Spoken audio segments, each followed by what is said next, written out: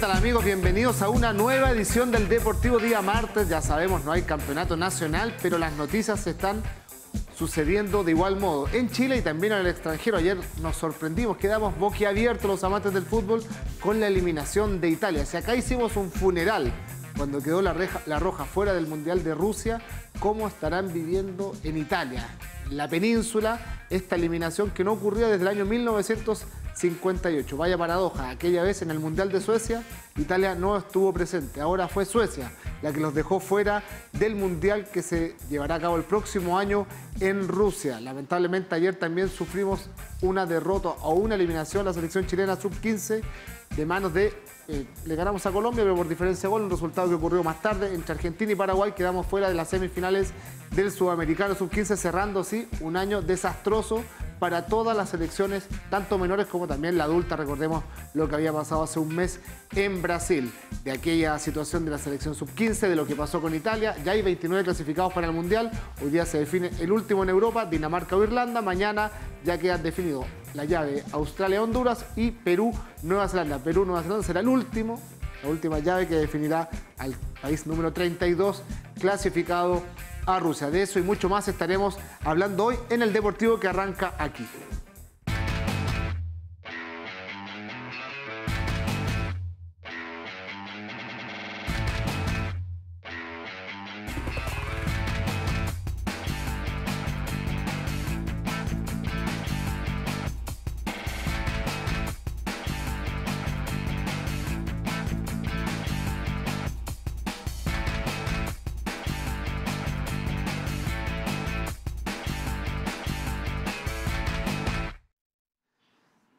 Ya estamos de vuelta, amigos, acá en el set del Deportivo y antes de presentar al panel titularísimo en los días martes, vamos a ir con Camila Madariaga y las redes sociales para saber cuáles son las preguntas que tenemos para ustedes el día de hoy. Camila, ¿cómo estás?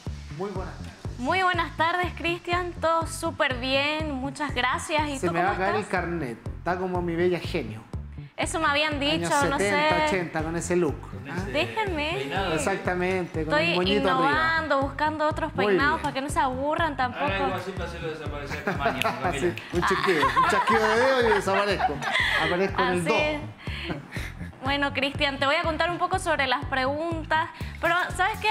Tengo un detalle ahí de alguno de los panelistas. Cuente. Ayer estabas hablando sobre los zapatos de Fernando Solabarrieta, pero ahora me llamaron la atención los zapatos del pollito. Exactamente, las alpargatas. ¿ah? Las alpargatas. No vamos a decir dónde las compró, pero me, contó que le costaron menos de 10 lucas. Menos de 10 lucas. Blanco y negro, ojo. Ayer los zapatos de Solabarrieta eran de Italia. Estos son, de, ah, son de una marca nacional. Bueno, se la barrieta, qué más. ¿Eran, ¿Eran de Italia, pero eran lindos o eran.? No, hay que, hay que tener personalidad. Hay que tener personalidad. Ah, y gusto. Sí, sí. Bien, Camila. Eso es lo Una alpargata blanco y negro. No, pero combina, ¿no? Sí, combina. Para, caminar por Apoquindo ya con este ya voy a cambiar un poco el tema porque ahí ya el pollito se sonrojó con esto. Era un piropo por si acaso. Y ahora voy a las preguntas. ¿Qué selección se extrañará más en Rusia 2018? Italia, Holanda o Chile.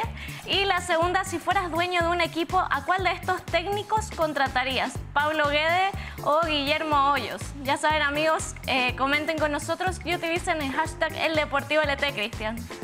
Muchas gracias, Camila. Aquí estamos viendo las preguntas en pantalla. ¿Qué selección se extrañará más en Rusia?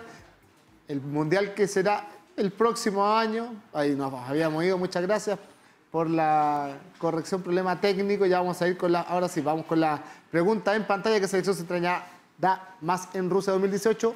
38% Italia, 10% Holanda, un 52% Chile con más de 1.818 votos a esta altura de la tarde. Y la otra pregunta que teníamos para el día de hoy, si fueras dueño de un equipo, ¿a cuál de estos técnicos contratarías? 54% a Pablo Quede, un 46% a Guillermo Hoyos con 963 votos a esta altura de la tarde. ¿Pero para quién votar a quién? Sí, no sé si lo... Yo no sé si el, 56 o el 52 de Hoyos serán de los de Colo Colo o serán de otro equipo. ¿No? Y el 46 serán de Hoyo es de los de... ¿Colo Colo? No sé, yo creo que los de la 1 quieren ver a Hoyo por un buen tiempo. Pollito Vélez, ¿cómo le va? Lo habíamos visto ahí, lo habíamos visto los pies. Ahora ya lo saludo de cuerpo entero. Puede mostrar mi celular si quiere. ¿eh? Sí, después. Cambió, le tenemos una sorpresa. Le tenemos una sorpresa.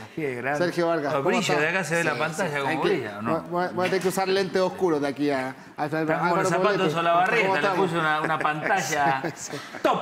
No, ¿eh? pero made in China, me dijo. Made in China. No, no, no le alcanzó el presupuesto para, para una mica un poquito más, más cara, más original. Tuvo Venía que recurrir al mercado chino. Venía con la alpargata. Venía con la alpargata, De regalo de la alpargata. Exactamente. Oye, antes de arrancar. Uy, te vacunó, te vacunó, entramos. Me están Lateral derecho te metió ahí un viaje contra la línea. Un viaje contra la línea. Oye, antes de iniciar el programa, queremos agradecer a Daniel Vilches Parra por este libro de los triunfos morales al país ganador. Historia de la selección chilena de fútbol durante la dictadura militar, el proceso que duró entre 1973 y 1989. Pollito, pídale un librito al amigo aquí para sortear entre los amigos del deporte. Sí, no, estaría, estaría, sería bueno que contribuyéramos con la cultura regalando lectura. He ido a la FIRSA eh, estos días, he ido a presentar este libro y otros más, y me ha sorprendido la gran cantidad de gente de todas las clases sociales, comprando libros, hoy asistiendo, pero masivamente a todas las actividades que presentan los, los escritores. Así que hay que comprar los libros, no piratearlos, ¿ah? no el pirateado. Así Vamos a entrar de inmediato ya, después de la presentación del libro de, que nos trajo el Pollito Vélez el día de hoy, sobre lo que pasó ayer en Europa, específicamente en Florencia, Sergio, donde se dio una de las sorpresas más grandes de la historia de las eliminatorias de, los mundiales. Uno me decía ayer, esto se asemeja mucho a lo que pasó el 69 en la bombonera, Perú-Argentina, y ahora viene esto de Italia que traía asistencia perfecta desde el año 58. Sí, 60 años asistiendo a todos los mundiales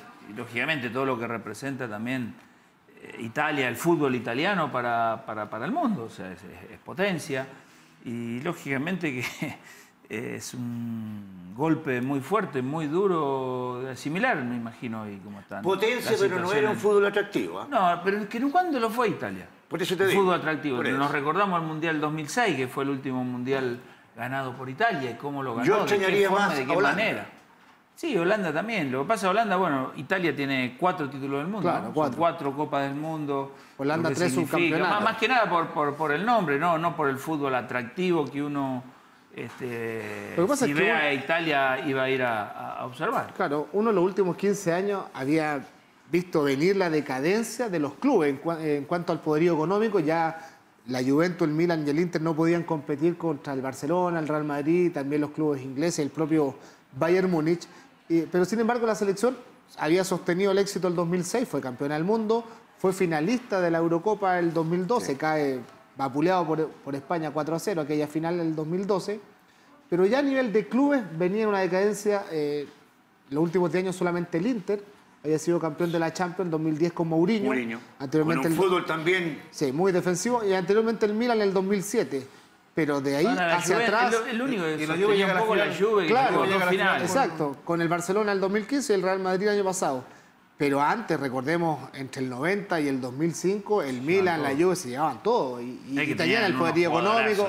Exacto. Van Basten, entre la ley Bosman, eh, la debacle, la debacle, la ley Bosman trae a todos los extranjeros a Italia porque empezaron todo este, el tema de los argentinos, que se le, hacía muy fácil, se le hacía muy fácil la doble nacionalidad, invadieron Italia. Ese, ese Inter de Mourinho el 2010, salvo Materazzi y algún otro, el resto eran todos extranjeros. Por lo tanto, eran triunfos, entre comillas, exportados. Hoy día la selección está pagando las consecuencias de esto. Eh, de esta eliminación, sorpresiva para muchos, no tan sorpresiva para otros, tomando en cuenta que el 2010 y 2014 se habían ido en primera ronda a los mundiales. Claro. Fíjate que se viene una crisis, dicen, ¿ah? ya la están avisorando, una crisis en los clubes del fútbol italiano. Eh, no sé, el mercado va a bajar terriblemente porque este ha sido un golpe tremendo. Ayer era, no sé, yo imaginaba algo así como el maracanazo, ¿ah? En menor medida porque este, ese fue un mundial. Sí, pero, este, mm, ir a un mundial para Italia era fundamental. Y bueno, para qué hablar del llanto bufón y todo eso, pero creo que todos los italianos en el estadio estaban pero consternados. No se esperaban una cosa así.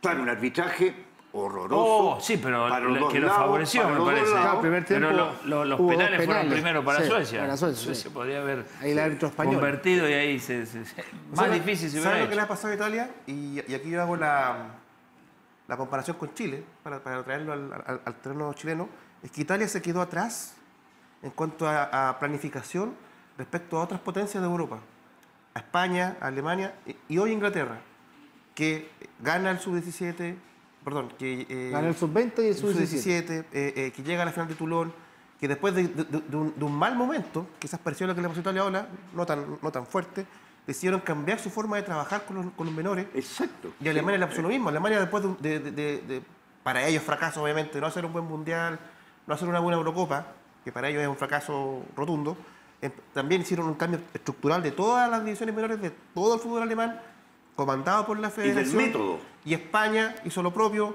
cambió totalmente, la furia española se acabó y empezó el fútbol español, el juego, y, es decir, hubo un trabajo que se entendió que el fútbol estaba cambiando, que ya no se podía ganar con la camiseta, que ya no se podía ganar con la historia. Con, la historia. Mm. Y en Chile, trayendo a Chile a propósito de lo que hablabas tú de las divisiones menores, está pasando lo mismo. O sea, Chile tenía la selección que brillaba, pero todos sabíamos, o todos sabemos, que de ahí para abajo no hay nada. O, no se ve nada en cuanto a resultados.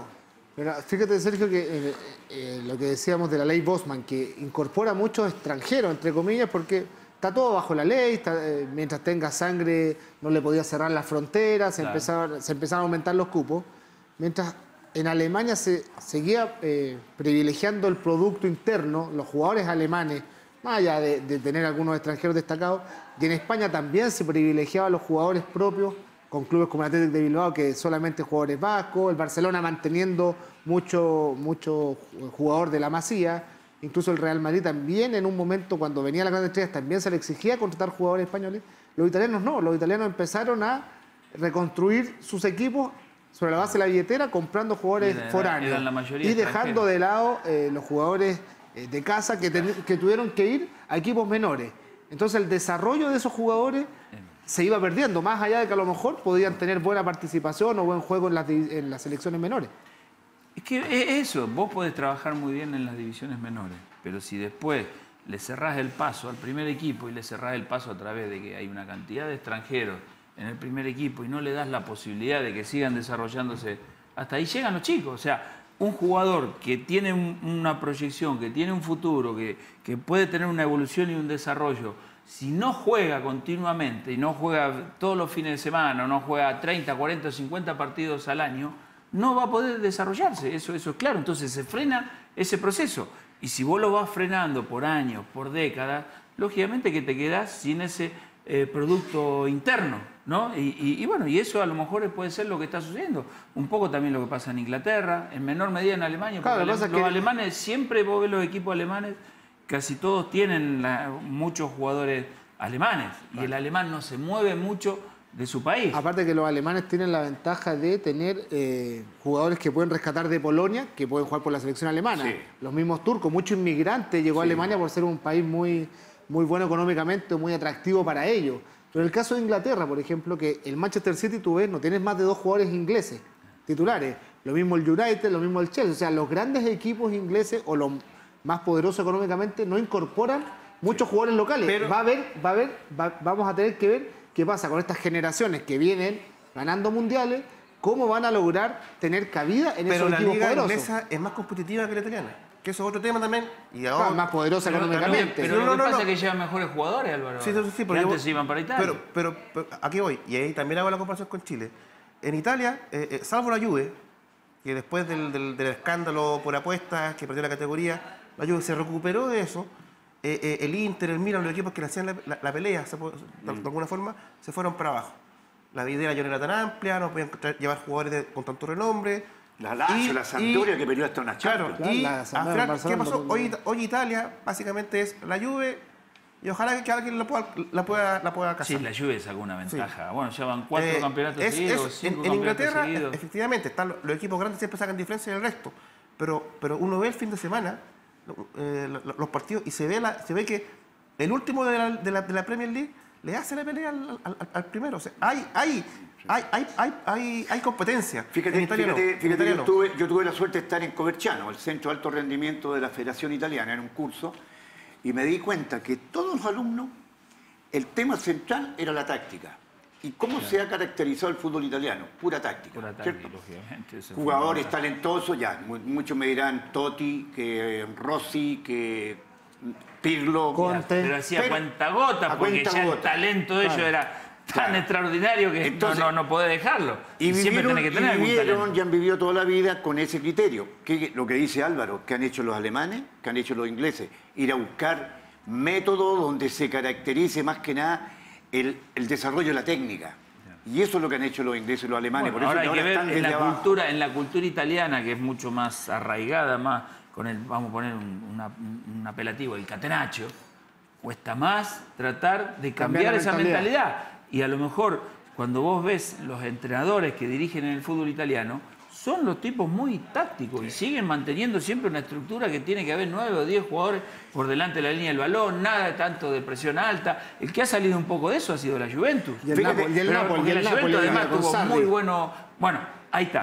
Ahí, yo creo que ahí está, si ellos quieren un modelo para poder desarrollarse, lo que hace el Napoli, a través de Sarri. Es, otro, es otro juego, es otro fútbol, es lo más parecido en, entre comillas, a, lo que hace Guardiola. Claro. El fútbol es juego de posición, salir jugando, estar y jugar muy bien. Ocho Y yo creo que a lo mejor va a tener que ir para ese lado. Porque yo te digo, yo te digo ha evolucionado hacia eso. Yo te digo que está bien la táctica. Pero tiene que haber un equilibrio con la técnica. Pero es que, dentro lo que pasa, por ejemplo, la, Roma, también ha tratado de hacer un vuelco, porque ha tratado, ha llevado técnicos españoles, ha, tratado de, de, mover un poco la estantería, sacudir el fútbol italiano. El problema es que parte de dos o tres clubes.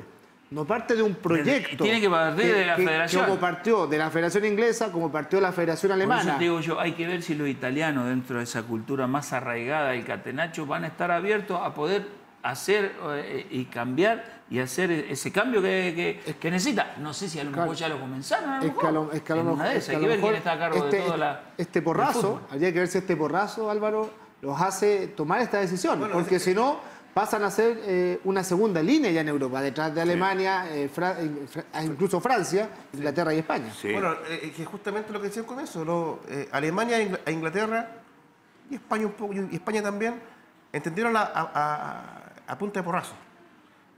Porrazos para sus contextos, obviamente. Para los, Chile estaría, sería extraordinario tener los porrazos que tienen esas selecciones. Ah. Pero, claro, esa duda.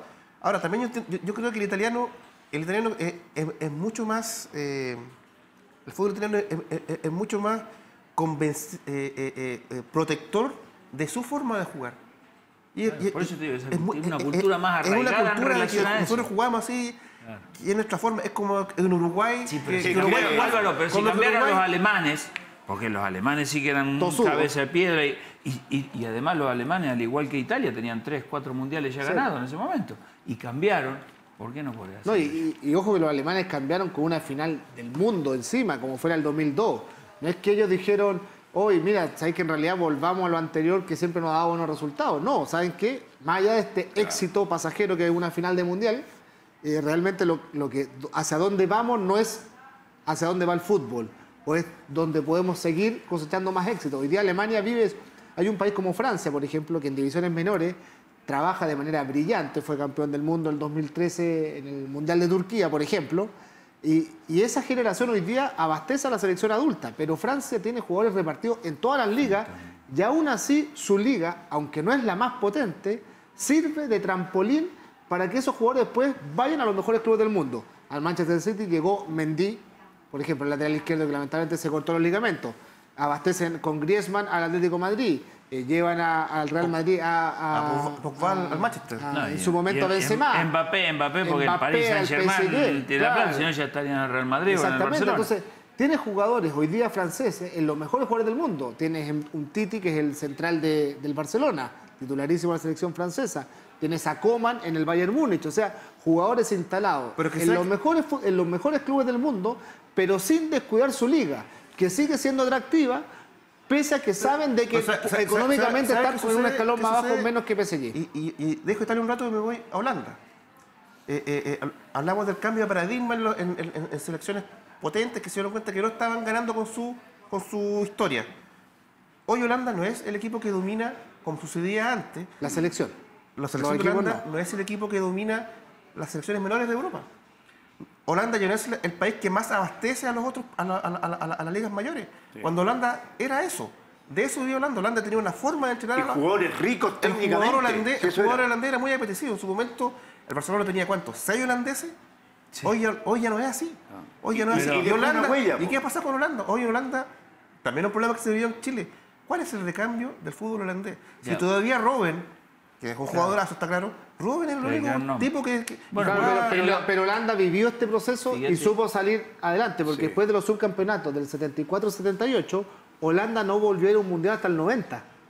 Pero claro, se demoraron 10 años y en esos 10 años armaron una generación en el Ajax y en el PSV Eindhoven que los termina eh, sacando campeones de la Copa Europea en el 88 con Van Basten y Gullit. O sea, ellos saben cómo tomar decisiones. Posteriormente, después del 90-94, viene un, oscurantismo 98 hasta el 2006. Es decir, ellos saben cómo reinventarse. ¿Sabes lo que pasa? Tienen ellos paciencia en lo que hacen. Fíjate que hay una, hay una frase que lo grafica. y, lo, y, lo, y lo aplicaron los franceses. Que ellos siguieron con su método, siguieron, siguieron, como diciendo, nuestros resultados aunque no sean proporcionales al esfuerzo, pero vamos a seguir así porque vamos a cosechar el día de mañana. Y eso, mire, hoy día son ejemplos para los alemanes, el método francés, técnica, técnica, sin descuidar lo físico y sin descuidar lo táctico, que lo manejan muy bien los italianos. Yo vi una selección sub-17 en Portugal, Portugal con Italia, y el equipo italiano, sub-17, ¿ah? manejó tres sistemas de juego según el resultado, cómo estaban, cómo, cómo lo estaban sufriendo. Comenzaron con 1-4-4-2, siguieron después con 1-3-3 y después 1-4, los tres sistemas. 3-5-2, eh, 4-4-2 y 4-3-3. O sea, según cómo iban perdiendo, cómo iban ganando. eso es inteligencia del juego, sí, lo que aquí hace mucha falta. Yo traería eh, entrenador italiano a Chile. el, tema, sí, pero el italiano están eliminado ahora. No, pero eh, no hay por qué traer al triunfador de turno, hay que traer al triunfador ese de que, es convencido de lo que está haciendo. Sí, lo que pasa es que, lo que pasa también, ojo, están los trabajos, están los métodos, están los modelos, pero vos nombraste una cantidad de jugadores franceses ahora. Nombrate, te pido ahora, nombrame en relación a los que quedaron eliminados, una cantidad de jugadores italianos y una cantidad de jugadores holandeses. No, y hay, no hay figuras. Es que si no, hay, no, hay, no, hay, no hay figuras porque Sí, pero lo que pasa es que hay veces que los talentos, hay, generaciones que te salen mejores generaciones que otros. hay jugadores, hay jugadores, pero más o menos, pero nadie que rompa, que rompa el molde, nadie que si tú, si tú de generaciones, vivían de una forma de jugar.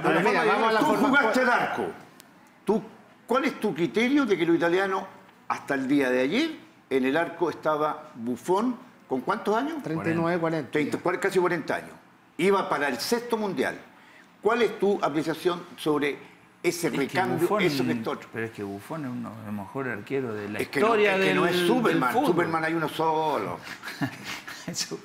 no, pero es que Buffon, Buffon, es, es eh, uno de los mejores arqueros de la historia. Está bien, pero ¿quién lo apuraba? Es lo mismo que pasa con nuestro Claudio Bravo. Ahora, ahora empezó un chico Donnarumma ahí en el Milan, pero le falta todavía. O sea, no, no, no está hoy para darle el arco de la selección. Pero, mira, Italia, siempre ha tenido arqueros mayores. Recuerda a Dino Sof, fue campeón del mundo en el 82 con 41, 42 años.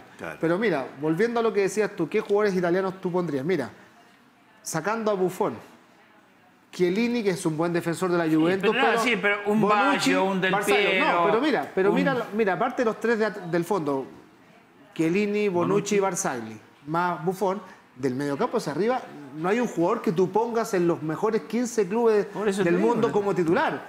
Y ahí te marca esa no es, no es, recambio, es, la categoría. Vos empezaste a hablar de Francia y dijiste está este, este, este, este, este.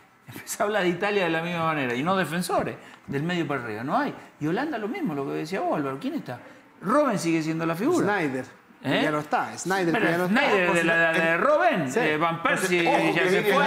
Jugó la, sí, una, una, generación estupenda, el Ajax, jovencísimo los cabros. 19, 20, 21 años vienen, pero acuérdate de la próxima pero, pero, el sistema de ellos no, no varía. Y además, si tú analizas un poco por qué los clubes europeos tampoco te contratan, los grandes clubes te contratan a jugadores italianos porque sencillamente no los ven capacitados para alta competencia.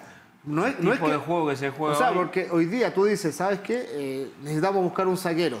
Oye, vamos a buscar un saquero italiano, experto en defender. No te llevan a ninguno, pero a ninguno. A fue el último que llevaron a El único jugador destacado de Italia que está afuera, que tú dices que es una muy buena figura, es Verratti, del ah, PSG, que no pudo estar, del Paris Saint-Germain pero el resto no hay ninguno que esté afuera. Ayer el técnico dejó afuera Insigne. ¿Viste el lío que se habló con, De Rossi? de Rossi, estaba Insigne en el... Mándalo a Insigne, tenemos que ganarme, que yo soy un volante pica. Es más, tenía que haber jugado de entrada Insigne y lo dejó en la banca y, no lo puso. Y es el mejor del Nápoles. Claro, entonces tú te das cuenta ahí...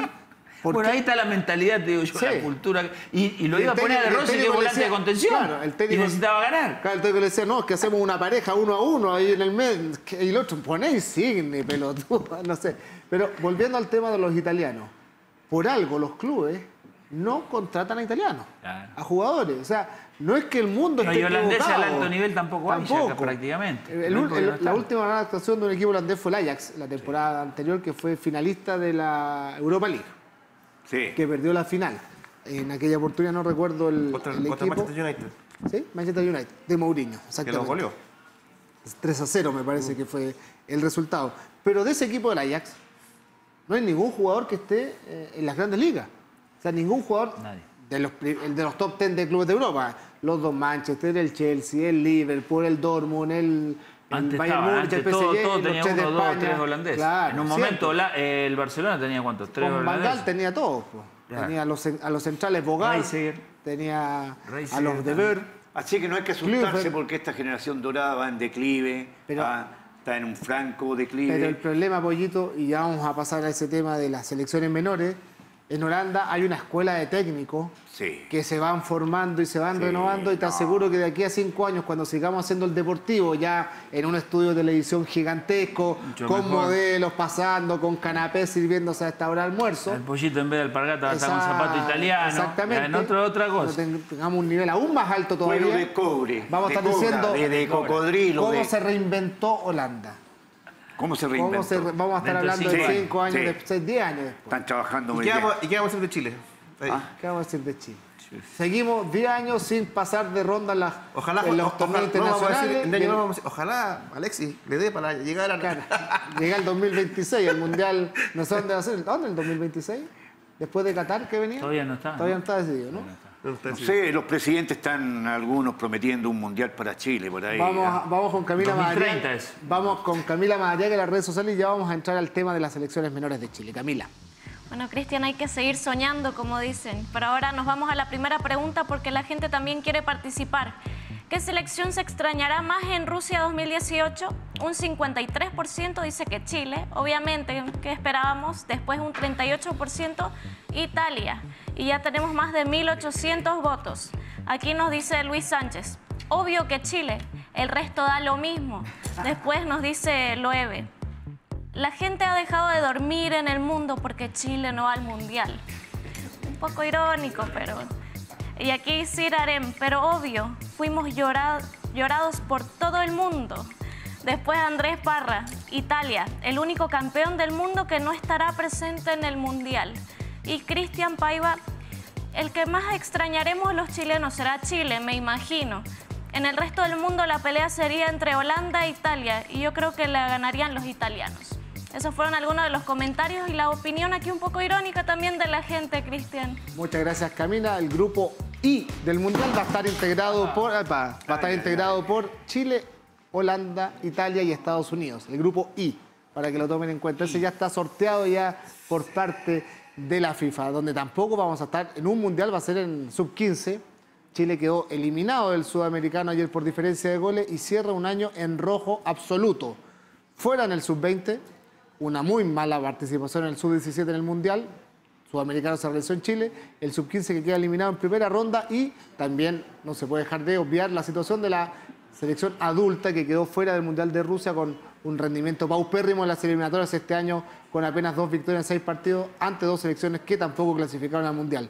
¿Cómo podemos evaluar, Sergio, todo lo que pasó con las selecciones, tanto adultas como menores, que se cierra tiene como corolario esta situación de la sub-15 de Cristian Leiva. Sí, bueno, el balance es pésimo, probablemente. No, no, se han dado los resultados eh, que uno desearía, que uno querría, y, en especial este, la NFP quiere. ¿eh? Ellos son los encargados de un proyecto deportivo, en este caso Arturo Salá, que es el, presidente de la NFP, es un hombre de fútbol, fue entrenador de fútbol y lógicamente él, eh, sin que lo haya dicho, me imagino, apuesta a, un proyecto y a un proceso. Ahora ahí está la posibilidad de hacer una evaluación de lo que ha sido toda y cada una de, de las competencias que participó la sub-20, la 17 y la sub-15. Con la 17 hago la, salvedad que sí clasificó a un mundial, hizo un muy mal mundial, sí, pero logró el objetivo de clasificar. Y ahí, bueno, van a tener que ver, evaluar y decir. Ahora, yo lo voy a hacer como en tono de pregunta. ¿Qué es un proceso? ¿Es resultado inmediato o resultado futuro? ¿Cómo vas evaluando un proceso? ¿A través de los resultados que se van dando? Porque si vos vas cortando ese proceso, siempre estás comenzando de nuevo. Entonces, ahí es donde tiene que venir una evaluación. Yo creo que el proceso... Paciencia, yo creo es lo que, se pide. Sí, pues eso es importante, pero yo creo que el proceso, a nivel de selecciones estamos hablando, eh, eh, yo creo que el proceso va, tiene que ver con la conexión que hay entre, los, entre todas las series. Es decir, que el equipo, que el muchacho que está en la sub-17 sepa cómo juega la adulta y tenga una, que haya un, estilo de juego, un estilo de juego adquirido. pero ahí es para todo el fútbol, ahí Sí, no, no, pero, bueno, pero las selecciones, la selección, la, selección no puede controlar lo que hacen, lamentablemente, porque en Alemania sí pasa. Las selecciones no pueden controlar lo que hacen los clubes con sus series menores. Aquí, pero por lo menos tú podrías ver, o sea, tú veías a la sub-17 y es un equipo absolutamente distinto. O sea, la sub-17 en Italia es defensiva. En Italia es defensiva y lo comparabas con la adulta, era otro equipo. Y el sub-20 jugaba con otra formación, otra forma de juego.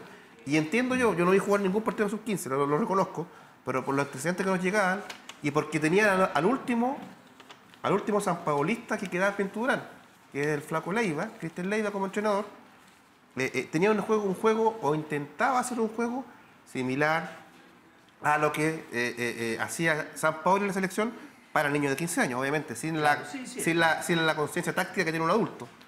Es decir, era una, total desconexión entre la sub-15 y la sub-17, y eso te indica que no hay proceso. Eso indica que no hay proceso. Mira, eso, eso también te da la pauta de una... Ahora hay que evaluar, hay que evaluar eso, y eso puede ser uno de los eh, motivos y objetos de evaluación. Tu pregunta y la pregunta de Álvaro no tiene nada que ver con lo que pasa hoy día en el fútbol, lo digo con respeto, ¿ah?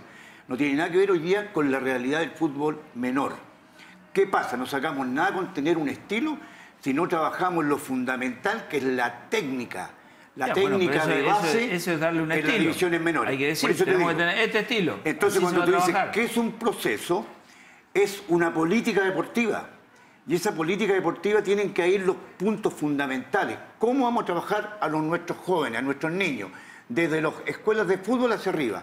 Y ahí falta una política deportiva. De la federación. yo era muy exigente con Arturo Salá, pero creo que Arturo Salá al llegar a la NFP tuvo que ordenar la casa después del desfalco de Jadwe y compañía, no solamente él. Ahora creo que se va a reunir a la tarde con el Colegio de Entrenadores para ir esbozando una unidad técnica nacional, dicen ellos. Yo le diría una dirección técnica nacional. Una dirección técnica es la misma que conformamos el año 1990 y perdonen que sea autorreferente, pero es la experiencia. Abel Alonso se convenció. Arturo Salán, entrenador de la adulta, Pellegrini la 20 y el que habla de la sub-17, con el apoyo del presidente del Colegio de Entrenadores Caulicán Peña. Se elaboró un proyecto, una, como dicen, un plan maestro, pero ¿sabe? adolecía de algo fundamental, que eso era solamente para el fútbol de los cadetes y no para el fútbol en general de ANFA. Yo incorporaría la ANFA yo trabajo ahí y me doy cuenta que ahí no hay conocimiento, carente de todo. Entonces los chicos vienen con una serie de carencias técnicas, tácticas, físicas, ¿para qué decir de acá arriba? No se entrenan. Pero, ahí, ya pero, estamos pero, a nivel país. ese, plan maestro del que tú hablas. Espérate, para, terminar. Cinco años duramos ahí. Arturo abandonó como a los tres años y Pellegrini también por mayores proyecciones profesionales y seguí como director y Vladimir Vigorra como ayudante. En cinco años, del 90 al 95, fuimos a tres campeonatos mundiales. 93 sub-17 en Japón, 95 sub-20 en Qatar y 97 en Egipto con Vladimir. ¿Quién aportó todo esto? Y esto lo digo con todas sus letras. Ricardo Humor y Darío Calderón. Con todas sus letras. Abortaron ese proyecto que iba para destinado a qué? A que todos estos jugadores con dos mundiales nutrieran la selección preolímpica. ¿Y ellos que no creyeron en ese proceso? ¿Cómo? ¿No creyeron en ese proceso? Dice que dijeron. Hay que preguntarse, esa es la pregunta que yo quisiera decir. Porque paradojalmente Humor hoy en O'Higgins hace, exactamente un poco ese, ese modelo. No, cuando yo estaba en la sub-17, primero fue Abel Alonso. Y después. Cuando jugaba los amistosos en Santa Laura, todos los sábados, previo al Mundial, ¿el presidente era Humor? No, no, no, Abel Alonso. Abel Alonso, si yo le, dediqué la medalla a Abel Alonso por creer un proyecto como este. No, no, el que, el que, no, lo que yo creo que lo que dice el pollo es que el que genera el, cambio fue Abel Alonso. El que lo aborta es Abumor. Abumor llega mucho antes. Abumor el que contrata a Escargorta. Claro. El año después, 95. no, si Escargorta después no, espérate, espérate, fue a vernos a nosotros, un sudamericano en Cochabamba. Lo que yo veo es que Agumor mantuvo el proceso, pero en un momento lo abortó, decidió no continuar con eso. Yo creo que a eso te refieres tú, porque Agumor te apoyó en algunos años de, de, de todo esto que tú estás hablando. Porque Agumor llegó el año 94, si no me equivoco, a la Dirección Técnica Nacional. Ahora, ahora yo te, o sea, la una duda, ese proceso del que tú hablas eh, eh, eh, incluía a las elecciones. ¿Qué influencias tenías tú en ese proceso en los clubes? Visitar todo Chile. Sí, pero es que eso es una cosa es visitar, otra cosa es dirigir. Ah, no, es que hay porque, porque eso es lo que sucede hoy. Ese es el cambio, el gran cambio que ha generado el fútbol alemán, el fútbol inglés. Ah, la federación. pero había que la federación le dice a los clubes. Había que La federación le dice a los clubes. Pero déjame terminar un poquito. La federación le dice a los clubes: usted va a trabajar así, así, así. Y todos los clubes trabajan de la misma manera, ah. el mismo jugador. Después cada club verá cómo los utiliza, pero la, pero la base de, entrenamiento y de formación de los muchachos lo dirige la federación y no los clubes. ¿Y ustedes creen que Colo Colo hoy día, por ejemplo, aguantaría que viniese, no sé, el, ah, no, a decir, oye, quiero que, quiero que todos los jugadores hagan este, este ejercicio? No, no, se haría. te respondo, por lo tanto... Lo hacemos, pero pagale igual técnico, entonces, no, cuerpo entonces no es proceso. Lo que pasa respondo, respondo. ¿Qué pasó? Arturo como viajaba mucho con Manuel, incluso yo también viajé mucho, por decir Coverciano, el, centro de alto rendimiento de Barcelona, en, Londres, con el Tottenham y todo, mucho. Eh, ¿Qué pasó? Que trajo un método que se llamaba el de Winning Formula. ¿ah? La fórmula de los ganadores a través de cuadrado, rectángulo, donde se trabajaba mucho la técnica con precisión. Ese era un método. Pero ¿qué pasa? Álvaro tiene razón.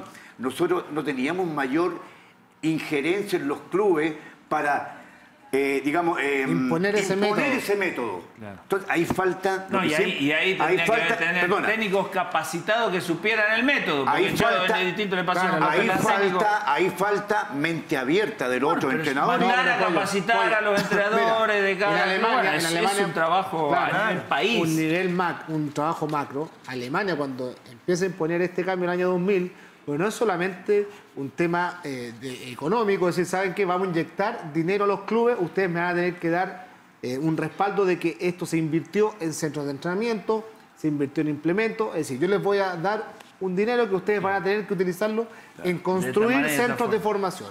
Al mismo tiempo, yo, como Federación Alemana, voy a preparar a los técnicos, a todos. Todos van a tener que tener cierto estándar, y a partir de ahí cada uno ya empieza a elegir el técnico que quiere, cada uno va a cobrar lo que quiera. Pero yo como federación me hago cargo de la formación de los entrenadores, para que después los entrenadores, cuando vayan a todos los clubes, a las divisiones inferiores, vayan con un sistema de trabajo homogéneo. Después tú le podrás dar matices. Acá en Chile, como decía Álvaro. Adaptémosla, adaptémosla a los chilenos. Sí, adaptémosla a los chilenos, porque eso es realmente porque una esto, situación es un sueño y de la perfección y es lo que se debería hacer. Pero, vamos a lo que está ocurriendo hoy día en Chile. Técnico de la sub-20, Héctor Robles. ¿Cuál es la similitud que tiene Héctor Robles con Caputo? Ninguna. Bueno. No, y después vamos a Flaco Leiva, ninguna. Ni hablar con Pisi. Porque Flaco Leiva era ayudante técnico, entre comillas, colaborador directo de Pisi. Y después cuando dirigió a la sub-15, la sub-15 no jugaba en lo más mínimo parecido a la adulta. Por lo tanto, se eligen cuatro cabezas de proyecto. Pisi, Robles, Caputo. Entonces Salá, Salá, hace todo, Salá hace todo lo que no hizo o no, él lo protagonizó como técnico anteriormente. Pero para ahí, para ahí, para ahí. Porque él se eligió a un, a un jefe técnico de la selección. Ahumada. Ahumada. Ahumada. ¿Quién, ¿Quién es el que tiene que bajar la línea técnica a todos y a cada uno de los entrenadores? De cómo se juega. Ahumada. Él es el responsable. ¿Me entendés? De, generar eso. Ahora, es el primer año de Salah, de Arturo, en relación a lo que ha sucedido con la selección. Van dos años. Porque sí, pero compitieron todo este año y lo que decía el pollito. y el primer año fue dedicado al tema administrativo.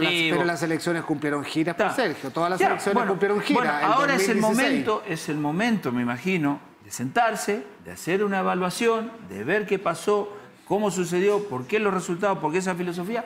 Y a partir de ahora yo creo que sí uno le puede decir, ¿sabe qué? Eh, nosotros tenemos que ir por este lado. Yo creo que lo que estamos viendo nosotros, lo que estás diciendo vos, que hay diferencia en cómo jugó la sub-20, en cómo jugó la 17, en cómo jugó la 15, ellos la tienen que estar viendo. Ojalá. Y seguramente, me imagino que va a haber una evaluación y de acuerdo a ello se va a ajustar la política deportiva, que tendrá que ser una, y a partir de ahí se harán, si, si es que se requiere hacer ajuste de nombres o no, o decirle, ¿sabe qué? Agarrar a estos tres entrenadores, ustedes tienen que tener esta filosofía, este modelo de juego y esto es lo que vamos a realizar. Y eso parte desde, desde, el jefe técnico. Y eso, eso, eso hay que verlo. Ahora, porque se han dado cuenta que han tenido un talón de quiero, te, quiero aclarar algo, quiero aclarar algo sobre, perdona, Alvarito, te quiero aclarar algo. Los protocolos para contratar las personas que toca de nombrar, ¿cuáles son? Yo quiero mucho a Caputo, lo tuve como arquero suplente en Everton, muy buena persona, un hombre honesto. Pero cuando fue nominado para esta sub-17, no había entrenado nunca una división cadete.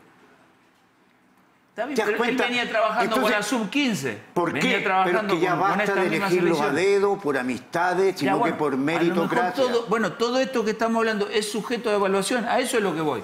¿En qué nos equivocamos? Empezamos desde el inicio. En esto, en esto, en esto, en esto, en esto, en esto, en esto. En esto. Entonces, hay un montón de aspectos que yo creo que, yo creo que, que van a ser sujetos de evaluación. Y si hay algo que yo le puedo exigir y pedir a Salah, no soy quien, ¿no? pero digo que le tendríamos que pedir y exigir, no es tanto en lo administrativo si las cuentas calzan. ¿En qué le vamos a pedir? En, un proyecto, en algo deportivo por lo que Arturo peleó todo, toda la vida. Porque yo lo conozco, estuve con él, sé lo que hicieron en la, dirección o unidad técnica nacional, sé a lo que apuntaba, sé por qué se peleaba con los dirigentes, sé cuál era su diferencia con los dirigentes. Entonces hoy él tiene esa responsabilidad de generar un proyecto deportivo. Se tiene que ir, no sé si será dentro de un año o si es reelegido, o lo que sea, el momento que se vaya, pero la mejor herencia que le puede dejar a la selección y al fútbol chileno es algo por lo que él siempre peleó.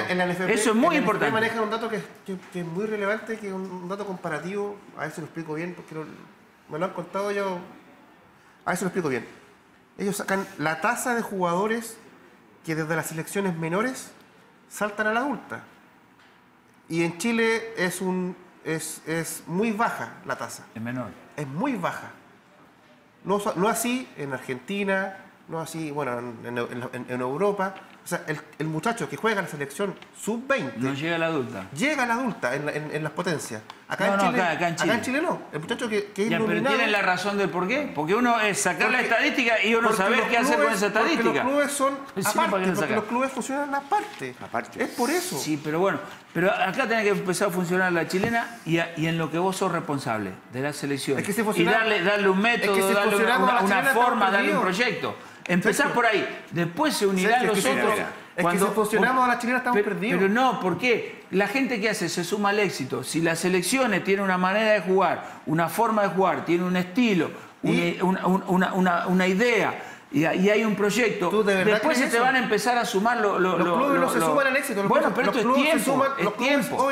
Yo creo y tengo la ilusión. Sí, eso es la idea. O sea, la gente inteligente hoy, hace los clubes no se suman al éxito, se suman al peso menos, al ahorro no les interesa más que el ahorro. El billetito pero, pero finalmente el, ahorro ese después te hace tener un gasto superior porque como no formas bien, después tenés que ir a comprar y te sale 150 veces más caro. ¿Los clubes se sumaron al éxito de la selección chilena? ¿Cómo? ¿Se sumaron los clubes al éxito de la selección chilena, la adulta? No. Hay, clubes, hay, clubes, que intentan. a ver, la, la U ha intentado. Un botón de muestra, eh, Sergio. Católica ha mantenido una línea. Un botón de muestra, un ah, botón de muestra en este día o en, en, estos tiempos. Un botón de muestra del fútbol formativo. La sub-14 de Cobresal tiene que jugar con la Universidad de Chile. Van al Estadio La Pintana y no se lo entregan. Van a una cancha anexa donde... No se consiguen la cancha no se consigue en la cancha. Va en una cancha anexa donde tenía, estaba rayada como para un partido de rugby. Y no es broma. Y al final, en una cancha chiquitita. Así se está jugando hoy día. Yo no sé por qué dejaron de jugar en Quilín todos estos clubes que no tienen cancha. ¿Sabes lo que decían algunos dirigentes? Es que los jugadores nos van adquiriendo el hecho de ser local o, sentir la presión de visita. O sea, si tenés, si tenés recinto donde hacer de local, bárbaro, pero si no lo tenés, seguís jugando en Quilín, o sea, es 2 más 2 también.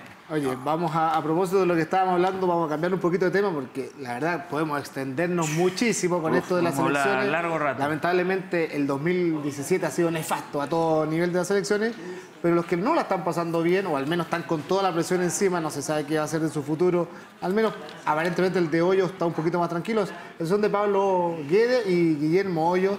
A tres fechas del final, ambos están peleando el título. Uno pensaría que eh, ya podrían hasta estar planificando lo que va a ser el 2018, pero la verdad que en estos tres partidos se juegan muchas cosas. Hazme la pregunta si yo fuera dueño de un equipo. ¿A quién contrataría? dueño de un equipo, pollito.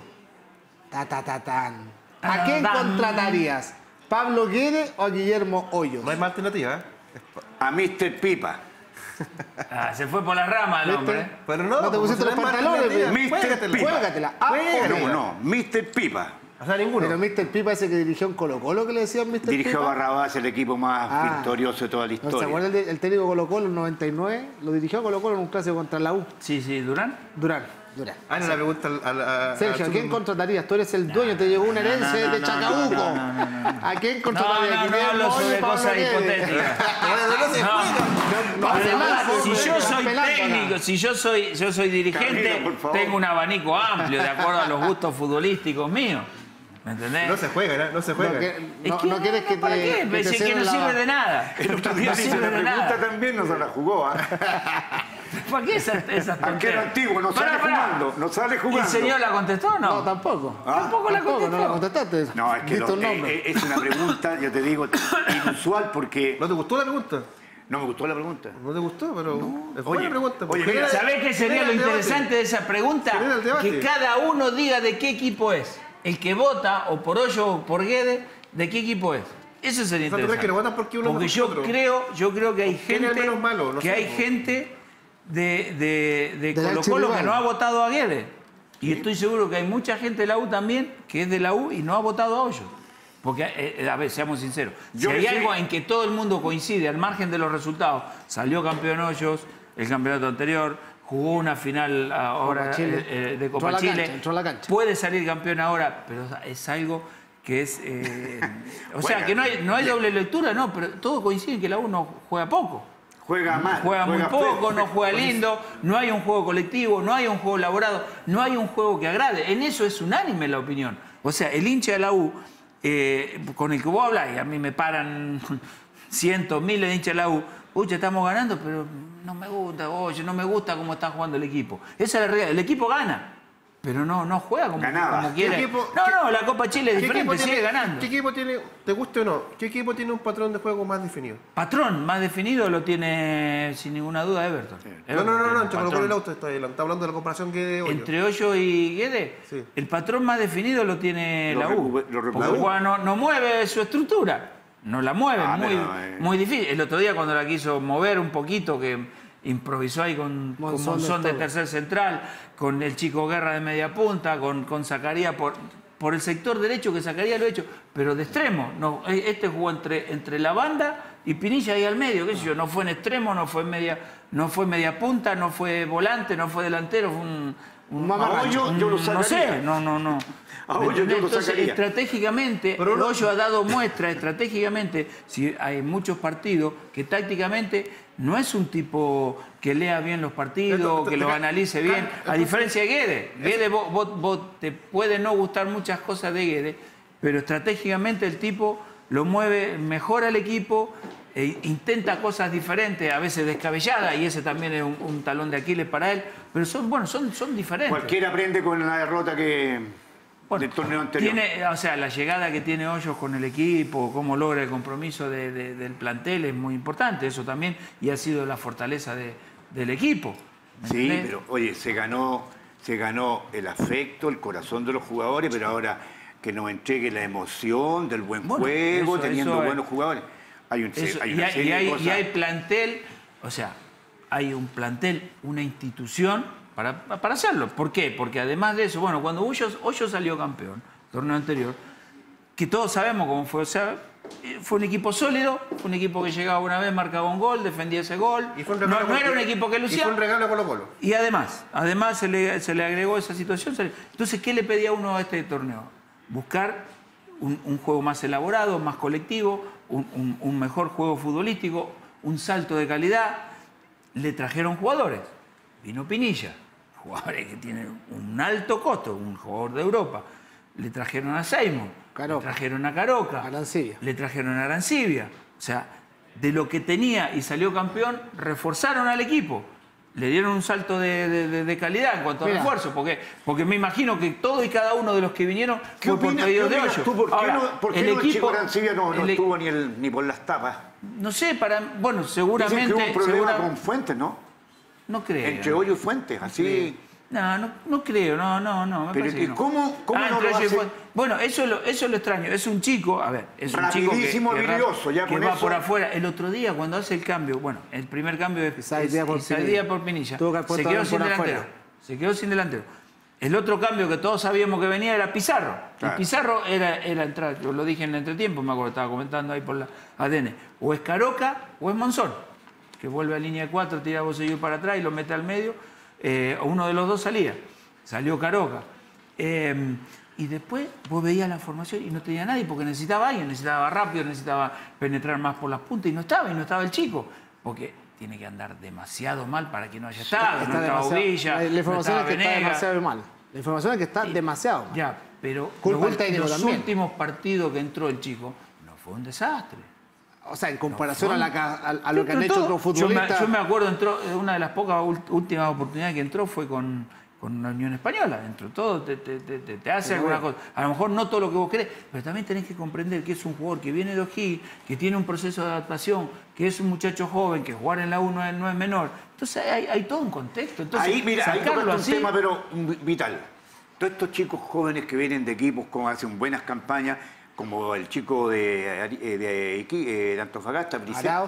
Ah, no, Mario Briceño venía de La Serena. Venía de La, Serena, recomendado por eh, Víctor Hugo y todo el Oye, ¿cómo no puede, con todo lo que hacen en su equipo, te das cuenta, eso es lo que de aquí a aquí no les viene, no les anda bien, no, no, les carburan bien. Hay veces que hay, hay, veces que, hay que saber grande, ¿cómo alguien no les dice, oye, va a llegar a un club grande, estas son las presiones, tienes que someterte ¿Sabes qué, Bollito, en esos casos? Tú dices, eh, es llegar y hacerlo. Yo creo que todos los clubes lo intentan hacer. Pero si tú vas a un análisis de jugadores chilenos que han venido de equipos menores a la U Colo Colo, y te doy el caso hasta de Católica, jugadores chilenos, en la cual tú dices que esos jugadores se han instalado en esos equipos y la han descosido al, de entrada, no me das un nombre. Es muy difícil. Jugador chileno, mira, yo te doy un jugador que vino de un equipo menor, y que la rompió de inmediato fue Barroso, pero no es chileno. Y él se formó en Boca. Pero ya venía más armado. Pero, no, pero aparte, no, pero olvidémonos de la. Él tuvo una formación en Boca. La sí, otra, la, sí, pero la otra trajo, la otra trajo de O'Higgins, tema, la otra trajo de O'Higgins. A Benjamín Vidal, nada. Enzo Gutiérrez, nada. Uvilla tardó o no despegó nunca. Y Uvilla era la figura. Te llevo a mi época. En una época la U compró en, el 95 compró Juan Quiroga, y Hugo la rompía, la, rompía en La Serena y Hugo Bravo la rompía en el Palestino. Y les costó un mundo. Les costó, y nunca se pudieron consolidar. Y nunca se pudieron consolidar. Entonces eran jugadores. que, pero también hay que hay jugadores hay que saber conducirlo, hay que saber llevarlo. hay, que saber llevarlo. Yo creo que el chico tiene potencial y tiene para, estar ahí. No sé por qué. Fíjate, fíjate en Católica, en la Católica bicampeona, para no hacer centrarlo en Colo Colo y la U. Los jugadores que llegaron a impulsar esa campaña eran extranjeros. Bonanote, Noir, Kalinsky. ¿Ah? El otro que le impulsa es Nico Castillo, pero él es formado en Católica. Ya se había ido. Pero si tú, si tú ves este año, ya cuando tuvieron que reacomodar con piezas un poquito más baratas, eh, Branco Ampuero, ni fu ni fa. Vidal ya venía con una experiencia de la U, ni fu ni fa. Diego Vallejo, Vallejo. ni fu ni fa. O sea, tú vas dando una, una lista de jugadores que han llegado y. Ya te la chanchita Ramos. Y te cuesta. Riverí Muñoz, figura en Everton. Se lo peleó la U. se lo peleó la U con Católica. Claro. Colo Colo tenía a Béjar, tienes a, Volado, a Volado. Tienes a Opaso, que cuánto estuvo cortado Opaso. Y, y, y, Raya para la suma. Felipe, Felipe Campo. Raya para la suma, Cristian. Cuesta talento incompleto, no vienen calibrados de acá, no, vienen, no, vienen es que no vienen calibrados, es que hay una diferencia abismal muchas veces. solamente tiene que en cuanto a la personalidad de la Alexis Sánchez la excepción que eso sí, eso sí. Pero, pero, pero uno, por eso uno de los mejores jugadores de toda la, de la, historia de, de Chile. O sea, son Vargas pasó, Vargas pasó un año en la U vegetando. ¿Te acordás que con Peluso y con Peluso lo, iban a dar se préstamo? Te olvida, se te olvida un nombre emblemático, a Charles Arangui. ¿A dónde llegó primero? Colo Colo. Cobreloa a Cobresal, después Cobreloa, de ahí Colo Colo. Colo Colo. ¿Y Colo Colo Hizo una buena campaña, pero, pero Colo Colo no se interesó en comprarlo, se tuvo que ir a Quilmes y ahí lo repatriaron. Fue campeón con Colo Colo. Fue campeón.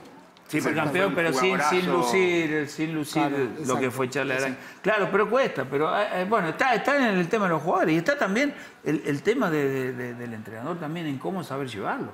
Porque son chicos que ya vienen compartidos en primera división, que el club hace una apuesta, que los trae. Entonces hay que ver cómo vos los vas, vas viendo, cómo le vas generando el camino para que se vayan incorporando. No es un chico de división inferiores que va a saltar al primer equipo y sin experiencia va a jugar. Este chico, si lo compraste y lo trajiste, porque ya demostró que puede jugar. Ahora, después depende de él, pero también de cómo vos lo sepas llevar. Colocó lo trajo a Vilche, Andrés Vilche. Sí, sí. Tiene votado. Ah, entre las lesiones, y muchas veces las lesiones son producto de situaciones más mentales. ¿Chita cuánto? Eh, no, pero es peruano. Martín Rodríguez. Joven Llevó un año hasta que quede le encuentra la posición y explota. Pero sí, pasó, era la posición de él. Pasó un año. lateral volante allá por, por, por izquierda. Pasó un año. Recorría toda la línea. La lista es numerosa. Vamos con Camila Madariaga y las redes sociales antes de los remates directos porque se nos pasó volando el programa, Camila. Así es, vamos a la última pregunta. Si fueras dueño de un equipo, ¿a cuál de estos técnicos contratarías? Aquí un 54% nos dice Pablo Guede y un 46% Guillermo Hoyos. Aquí Mario Ríos nos dice, ninguno de los dos. Michael nos dice, dos alternativas pencas. Si soy dueño con estas alternativas, pongo un desconocido con ganas. Después Ernesto Espinosa. Ninguno, ambos son muy irregulares. Y por último, Daniel Sotelo. Ninguno. Uno más vende humo que el otro y uno con más suerte que el otro. Esas fueron las opiniones de la gente. Cristian, yo me despido y nos vamos contigo y el remate directo. Muchas gracias Camila, que estés muy bien. A propósito de irregulares, ambos tienen 24 puntos. Pueden aspirar como máximo a 33. A esta altura del campeonato pasado, Guedes estaba con los mismos puntos. Hoyos fue campeón con 32, es decir, parejito. Da lo, da lo, mismo si le traen a Valdivia, da lo mismo si le traen a Pinilla. Mantienen la regularidad muy pobre, con un rendimiento muy, pero muy pobre. Oye, tú? ¿Yo? ¿Sí? Si yo tengo que elegir, realmente yo siempre fui un defensor a Guede. Con todos sus problemas, yo me traería a Guede a mi equipo. Pollito Belli, parte usted con los remates directos, mirando a la cámara 3, desde ahora ya. Voy a defender la postura de Everton, la institución que me vio crecer en el fútbol profesional se avecina un partido importantísimo para Everton, que es jugar contra Colo Colo en su propio estadio. Pero al señor gobernador le diría, abogue por el buen fútbol, por una buena fiesta, no le ponga tantas trabas a un partido que va a ser trascendental en unos días más. Así que al señor gobernador, no se junte con gente de blanco y negro para poder desviar el partido a un campo neutral. Ya la dirigencia de Everton ya lo sabe. Por lo tanto, juegue pero juegue por el fútbol, por el bien del fútbol y por una fiesta que va a ser extraordinaria. Y no sé quién va a ganar, pero que sea en el mismo estadio Sausalito que para eso se hizo, para las grandes ocasiones. Ahí estaba el remate directo de Pollito Vélez. Impresentable la actitud de Blanco y Negro de enviar un emisario a la oficina del gobernador Jorge Dip para intentar eh, hacer un lobby y sacar a Everton de Viña del Mar. Eso se tiene que saber, eso tiene que ser denunciado. Blanco y negro, basta del matonaje en el fútbol chileno. Colo Colo no es el fútbol chileno. Si Colo Colo no va a jugar con su público en el Sausalito, no es problema del gobernador, no es problema de Everton, es problema de la municipalidad que no ha hecho los arreglos en el estadio Sausalito. El día lunes se va a tomar la decisión, pero parece que está todo eh, más o menos claro de que se va a jugar finalmente en el estadio de Viña del Mar. Sergio Vargas, cámara 1, por favor, remate directo. Desde ahora, ya. Bueno, más que remate directo, es un consejo de alguien que, jugó en el mismo puesto, me voy a referir al chico a Brian Cortés, eh, que es pretendido por Colo Colo. Yo creo que siempre es un orgullo que un equipo grande te quiera Este, pero me parece que no, no le conviene ir a, Colo Colo en este momento, teniendo en cuenta que es un arquero con, una gran proyección, que puede ser el futuro arquero de la selección en un par de años más, este, sería no bueno para él eh, ir a, disputar un puesto con Orión, porque lo más factible que sucedería es que quedaría en la, banca, más allá de la confianza que él se tenga. Pero para seguir creciendo, para seguir desarrollándose, yo creo que jugar un año más, donde ya tiene un espacio ganado en Iquique, le va a, le va a poder permitir una evolución y un desarrollo que lo va a convertir en un mucho mejor arquero. Hoy es un chico con muchas condiciones, con algunos ripios que tiene que corregir. La única manera de corregir es jugando. Si no juega, no lo va a corregir y estando sentado en la banca va a ser muy complicado. Es un poquito el, consejo. Una cosa es que lo compre Colo Colo y otra cosa es que lo utilice. Que lo compre Colo Colo, que haga uso de la ah, opción de compra y lo mande a préstamo. Eso, es lo que voy. Claro. No, para, aclarar, no, es que no le firme contrato a Colo Colo. Que hay una, claro, no, que justamente Colo Colo lo, lo, quiere y ha mostrado interés. Una conversación. Una o sea, yo creo que, o sea, porque si, si no se, se estancaría. Me da la sensación que el crecimiento que él tiene, el ah. desarrollo, tiene un potencial importante. Y al mismo tiempo, pensemos que a lo mejor se le se le puede plantear el mano a mano con Orión y, a lo mejor termine ganando. Mm. Pero sería la lápida para Álvaro Salazar, a quien le renovaron contrato. Pero es una situación muy, muy utópica de, sentar a Orión. Siendo la realidad y teniendo un espacio ganado, lo mejor que sea jugando. Pero no quiero centrar el debate entre Orión y, Cortés sino que decir Salazar. Salazar es la lápida. Le renovaste el contrato hace pocos meses y le estás trayendo un arquero menor para que sea el titular cuando Orión ya no esté en la banca, y, en el plantel de Colo Colo. Cierra los fuegos, Álvaro Poblete, por favor, cámara 3 desde ahora, ya. Eh, me voy al básquetbol, un deporte muy hermoso, y para felicitar a la selección sub-14 femenina, que acaba de salir campeona sudamericana eh, de la categoría. De la categoría. Eh, derrotó en semifinales a Argentina y en la final a Brasil. Y a ambos equipos les ganó por amplio margen, lo que ya ya es algo histórico y poco usual para, para el chileno. ¿Y de qué habla esto? Lo sumo a la sub-17 masculina que ganó el sudamericano en Perú hace 3, 4 meses. Hay un trabajo, hay un proceso en el básquetbol chileno con los muchachos, con, los, niños. Se está buscando altura, se está buscando técnica, técnica para el básquetbol. Y eso, ojalá que se potencie en algún momento con una liga eh, de hombres y una liga de mujeres competitiva. Porque lamentablemente todo ese trabajo que hacen las, selecciones no sirve de nada si en Chile no existe una liga de verdad competitiva. Ahí estaba el remate directo de Álvaro Poblete y este saludo a las gigantitas, como las bautizamos acá en la tercera, que ayer llegaron al país con su hermoso trofeo ganado en el Sudamericano Sub-14. Eso fue todo por hoy. Les recordamos mañana el jueves y el viernes no habrá el deportivo porque estamos remodelando el set, se van estas sillas, se van estos cuadrados y ya el día lunes estaríamos reinaugurando la nueva escenografía. Así que no nos extrañen tanto, lógicamente podrán seguir viendo los videos a través de la tercera.com. Y vayan a votar. vayan a votar el domingo. Las alpargatas en la tienda eh, chilena por ahí está repartida por el país. por el cambio de pantalla te las dan. Le vamos a hacer un agradecimiento al mall chino, que gentilmente le hizo una rebaja. Y aparte de la, la mica, le regaló estas dos sandalias. Si usted ve a alguien con esas sandalias, el pollito Belly acá abajo un combo. Nos vemos el día lunes, que esté muy bien. Muchas gracias. Gracias, Sergio. Gracias, Gracias,